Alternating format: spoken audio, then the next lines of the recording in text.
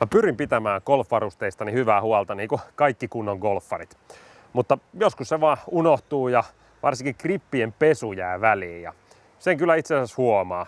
Tai sanotaan toistepäin, sen huomaa sitten kun ne on oikein puhtaat.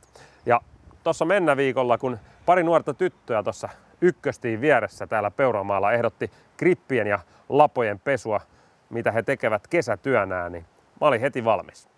Homma on sinänsä tuttua ja aina kun mä näen tämän ultraäänilaitteen, niin kyllä mielellään sitä hyödynnän. Sitä paitsi itse ei tarvinnut tehdä mitään.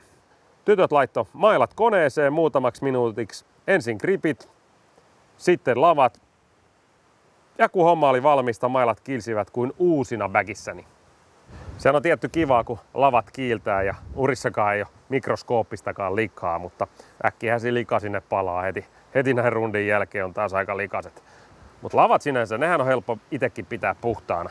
Mutta nämä gripit, näistä tuli kuin uudet, paljon pehmeämmät, paljon paremmat kuin millään hinkkauskonstilla kotona saiskaa. Eli, eli tätä kyllä suosittelen. Eli kun näette noita tyttöjä, niin viekää ihmeessä ainakin krippinen sinne pesuun.